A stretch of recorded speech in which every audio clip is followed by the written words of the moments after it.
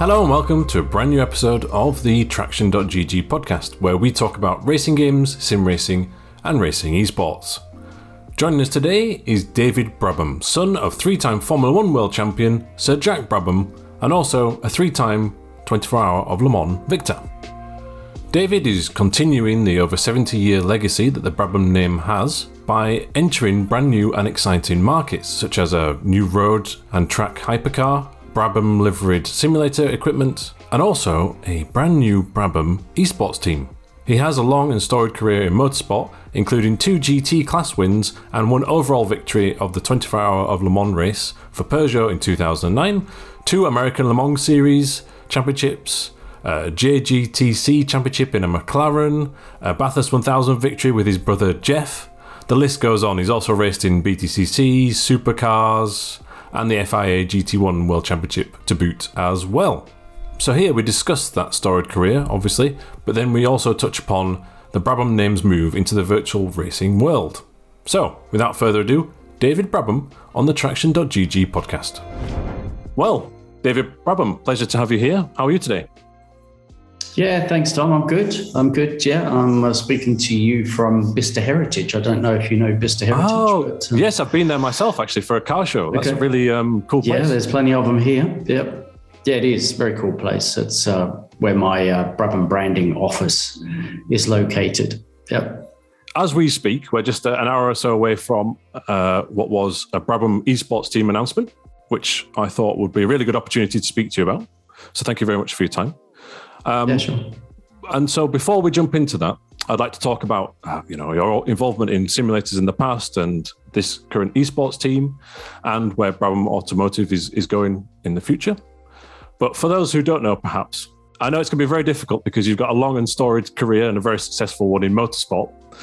Uh, but for our esports and sim racing based audience, if we could run through very briefly uh, your high- highlights of your career in motorsport. So, starting with where it all began, of course, with your family and your father, the Formula One world champion, and how you then fostered your own career and made it all the way to Formula One. Yeah, sure. I'll, I'll try and condense it. As, yeah, that's best, a very difficult as task. As best I can. you know, I, I grew up, uh, you know, in a, in a very famous racing family, particularly in Australia. Although I was born here, my dad you know, did Formula One. He was a three times Formula One world champion. Um, Brabham Formula One team started in 62. They won in 67 and 66 and 67. Um, Dad being the only driver still to have won a world championship in a car of his own construction. Um, and of course, the Brabham Formula One team continued after he retired and we went back to Australia. The F1 team continued through the 70s and 80s and the early 90s before it stopped. Um, and I went back when I was five, and I, I wanted to play football. I uh, wanted to play for Man United uh, as a kid, and because uh, I never really saw Dad race. So it really wasn't in, in, my psyche, you know what I mean? But I mean, mm. hell, I used to walk past trophies every day, but they were objects. They didn't really mean anything to me. Right. So um, I then got sent to an agricultural boarding school to be a farmer because we actually had a farm, about a four and a half thousand acre farm, and I was going to be a farmer. Uh, and of course, every time I got onto the farm and got into a vehicle or a motorbike or a tractor, it was always flat out and sideways. So speed, the love of speed was always there.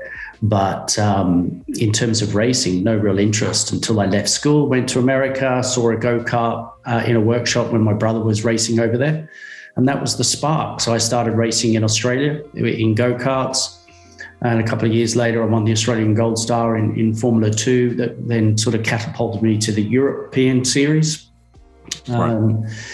And then, you know, I won the F3 Championship, won Macau, um, and then straight to Formula One, uh, which was a little bit of a surprise. So I did Formula One with Brabham in, in 92, uh, sorry, 1990. It finished in 92. Mm. Went to sports cars with Jaguar.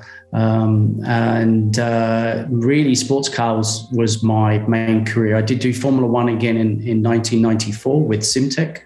Yep. Um, so around, you know, my teammate uh, died and Senna that weekend. So I was involved in in that era.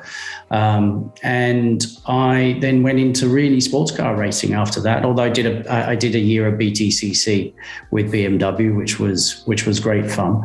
Um, raced in Japan, raced in America, uh, won Le Mans a few times. So yeah, I mean, you've done quite a lot. Very privileged to have had that kind of life to to race around the world, race some really cool cars, and and win some big trophies. So yeah, it's um, certainly an incredible career. But for me as well, winning the Bathurst 1000 in the Super Tourer era must have been mm-hmm. particularly mm-hmm. special. And uh, still only the, I think, the JGTC victory in the McLaren F1 is the only non Japanese car to win that championship to this day which is I think it pretty, is, yeah, pretty incredible. Yeah, that was cool. Ninety six, yeah, went to Japan with the McLaren F one and and won the championship. And as you say, it's the only non Japanese car that ever won there. So uh, that that was that was pretty cool. Um, and of course, like I said, the touring cars and winning Bathurst with my brother. Um, yeah, that, that that was a highlight. Having grown up in Australia Bathurst 1000, you know, is is the oh, big yeah. one. It's a bit like the Monaco Grand yeah. Prix here, or um, mm-hmm. uh, the Indy 500 in America. You know, the Bathurst 1000 is is the big one, and and to you know to won that with with you know within the family and with my brother. You know, we both won Le Mans in separate years, and and we won Bathurst together. So um, yeah, very cool. Yeah, I still watch uh, the Bathurst. I watch it every single year, bit by bit. Maybe not live, but I certainly watch the full, yeah, race every year. It's an amazing spectacle, and I would love to go there one day. Yeah, um, it's awesome track as well. Yeah. Oh, yeah. Well, I only know it from the sim world, of course, but yeah, it must be pretty special to actually uh, drive around it. Those changes of elevation and the narrow walls. Um, sure. I, I, also you mentioned there just casually. Oh, I won Le Mans a few times, you know, with in the GT class and then overall for for Peugeot. Uh, and in that, mm. when you did win it overall, that was in the height of the sort of Audi Peugeot rivalry. And you were in the year where Peugeot did break through and, and break that Audi dominance. What was it like to race in that era with those manufacturers fighting against each other? The competition at that stage between the manufacturers was pretty intense. Um, the stakes were high, pressure was on uh, I think the pressure got to to a few people because we we just didn't necessarily have the fastest car, but we knew we had to stay out of trouble to win that race because we could see a lot of other people were going to get into trouble, and they did. And uh, so we we had a perfect race, and, and I managed to be on the podium again, which was the third year in a row for me um, with the GT stuff uh, um, the previous two years. But right. to win overall was was yeah was was great, and to do that against the might of Audi was pretty satisfying as well. And uh, I'd also like to ask as well, just really quickly, and you've reminded me of something there, but you obviously were instrumental in the development and driving the Panoz Esperanti. The, the GT1 one with the roof for me is something very evocative of that GT1 era. Was it as loud to drive as it sounded like from watching the footage? Yeah, yeah, it was uh, James Weaver actually who used to race that car with us. Yeah. Put it brilliantly. He said, you know, when you drive a drive a Panoz, you use you, you actually lose the will to live sometimes because it was so hot and so loud. Um, it was uh, yeah, there were some very tough moments because you know we we didn't have our cool suits didn't work that well and um, the you know the, the cockpit temperatures were still very hot back then um, you know mm. 70 80 degrees inside and it was just insane particularly if you raced in japan and the 1000k in, in august oh, when you got right, the humidity yeah, out there it's just deathly. But um, yeah, that was a very unique car. And then of course the roof got cut off in '99, and mm-hmm. you know we we actually went to Le Mans in pre-qualifying and were second overall, which was we stunned everybody, including ourselves, that that thing actually went that quickly around there. But it was never never a car to win Le Mans. It just wasn't efficient enough. Uh, it was good for American racing, but not not Le Mans. So every time we went there, we knew we were there to compete and try and finish. But ultimately, the Audis and BMWs and um, uh, Porsches, you know, they, they were all they were all just a bit bit bit bit better than we were, really. Right. Certainly, though, from a, if I can speak from a, uh, a spectator point of view, I think lots of people were willing on the Panoz against the, the, might of the yeah, like the Porsches and the Mercedes. And yeah, we certainly delivered some spectacular. David and yeah. Goliath, yeah, no doubt about that. Yeah. uh, that was epic. Okay, well, I feel like we could talk about your real world motorsport career forever and a day. I would certainly love to at some. And Uh, I don't want to gloss over it in any way. But today there was the announcement of the Brabham esports team. So if you could tell us about the initiative, that would be interesting. Yeah, sure. I mean, um, you know, obviously we've seen that um, online racing has has grown massively over the last few years.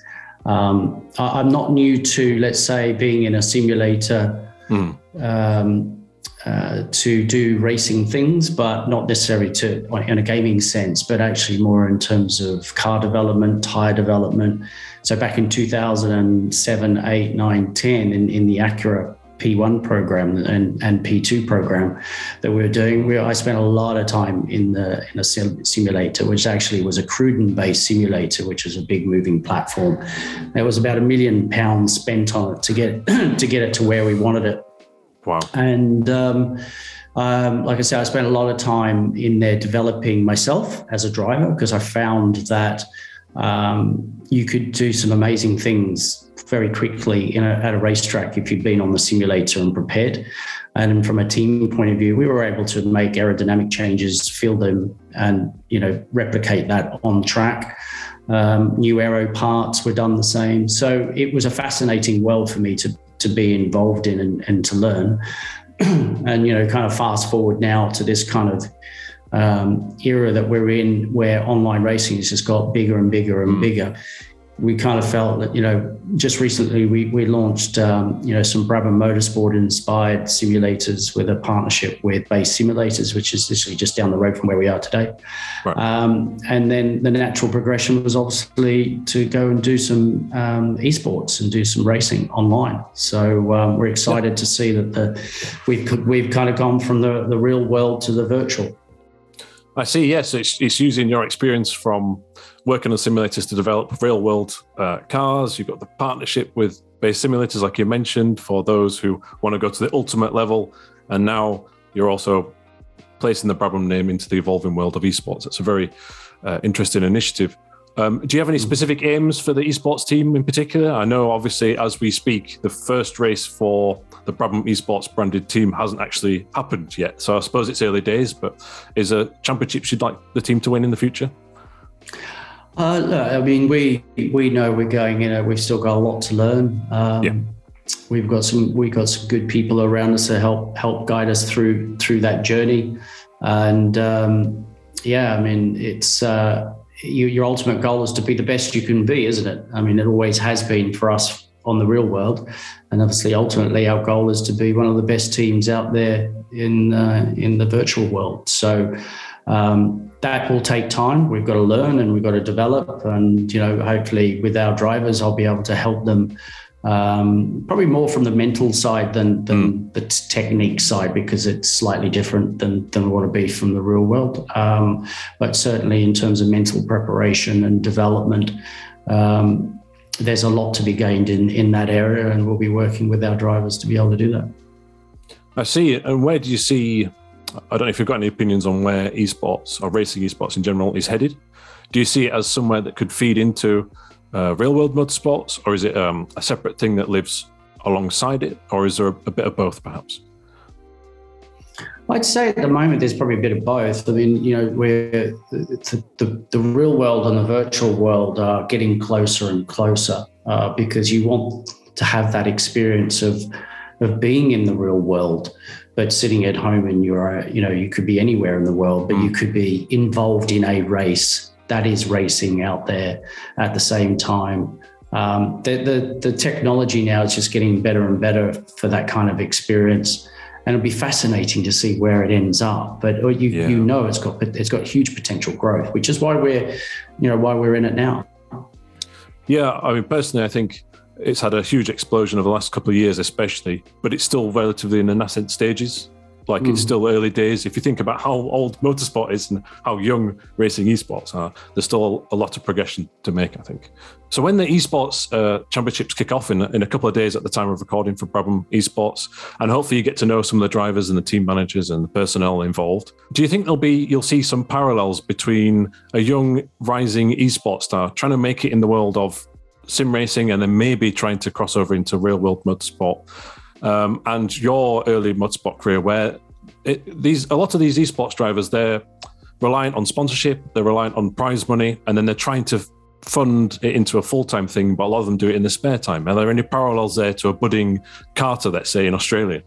Yeah, I mean, look, not too dissimilar. I mean, at the end of the day, if you want to grow and, and get better, you, you've got to have cash too, haven't you? So you've got to get the sponsors yeah. and the partners to, to help you along that journey who, who benefit from that experience as well as, as you. And it's finding how that, um, you know, that win-win situation can be for your, for your partners. So it's, it's important not to just think about oh well just give me the money and let me race. It's like okay, i'm doing this but how can this help you? You know so mm. um, you know that's that's really important. And, and and that that'll never change. You know it's always been there. And of course in the real world you know the money that drivers now have to bring to even get a seat is insane. You know yeah. um, i was one of the lucky ones because when I came over here, I had a sponsored drive and then I won a sponsored drive the following year. And then I was a paid driver in Formula One in 1990.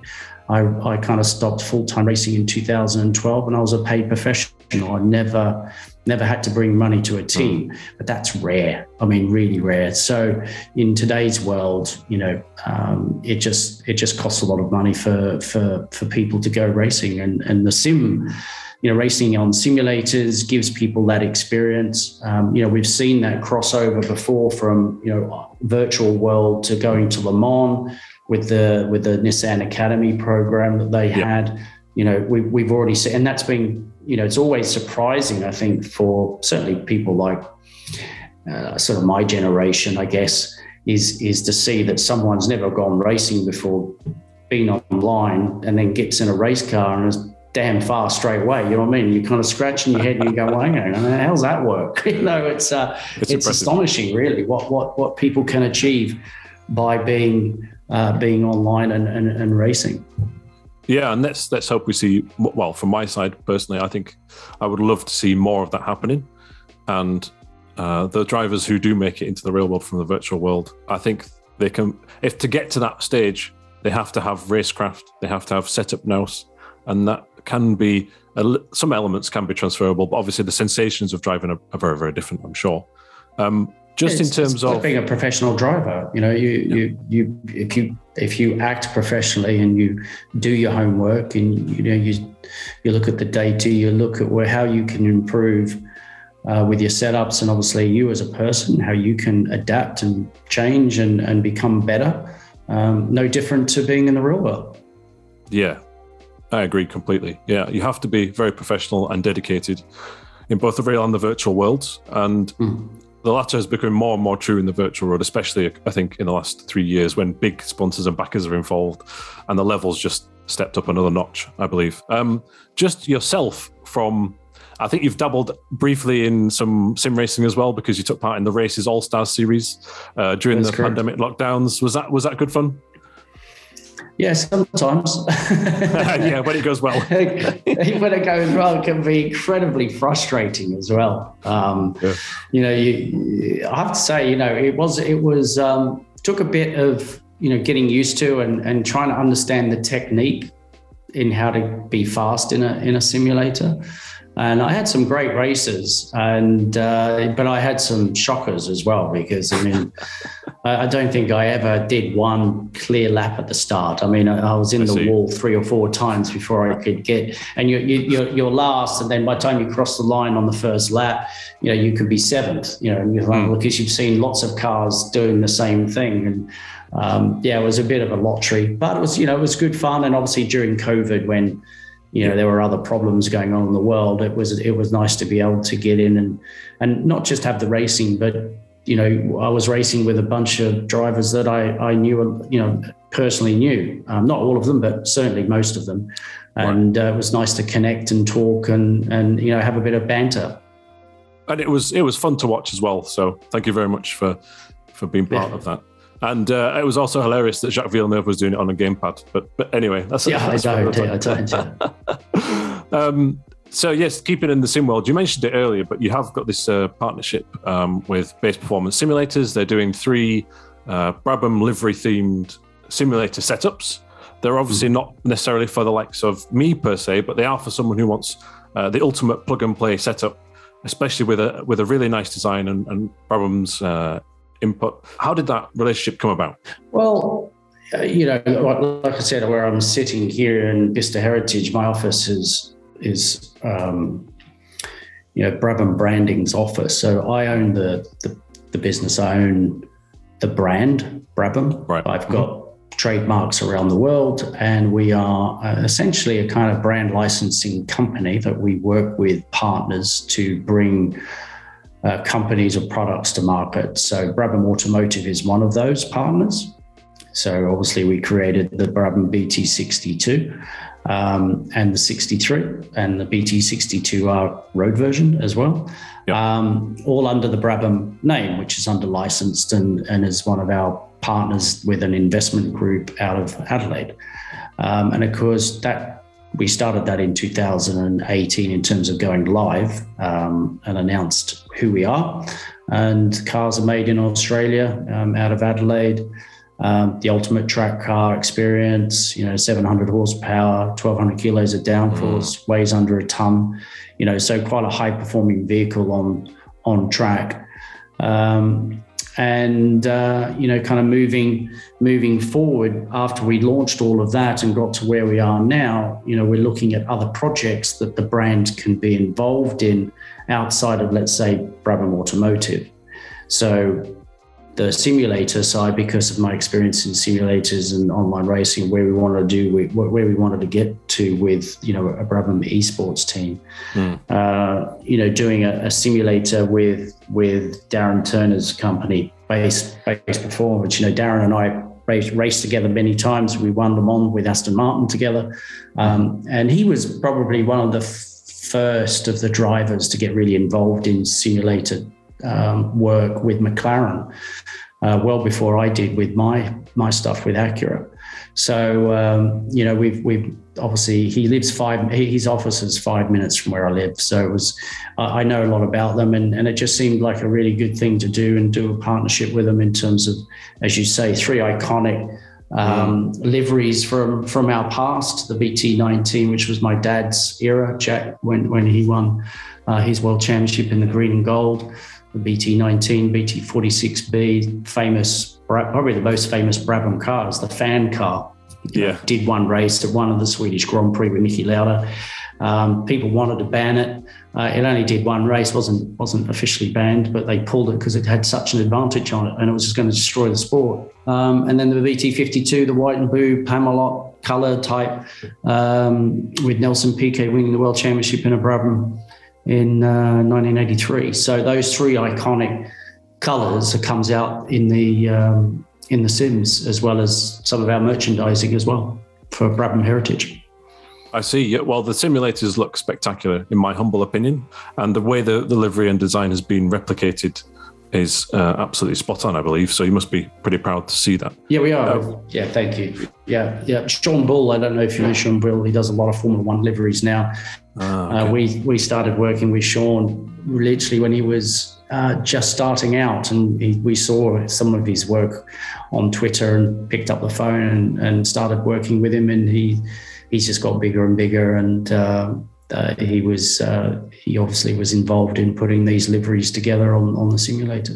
You, you actually mentioned there as well the Brabham Automotive uh, business, which has the BT62 mm. and uh, other variants. Um, how's that going at the minute? First of all, and second of all, if you, you had someone who purchased one of these uh, the track versions, maybe they could have used one of these simulator setups to sort of learn the tracks ahead of time as well. Is there a, a relationship yeah. there? Do you think?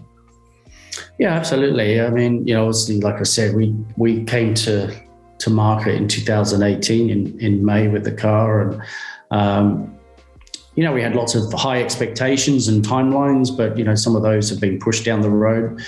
Uh, one because you know it's a challenging market, but it, you know, COVID obviously uh, you know prevented us from building cars as quickly as we would have liked for customers.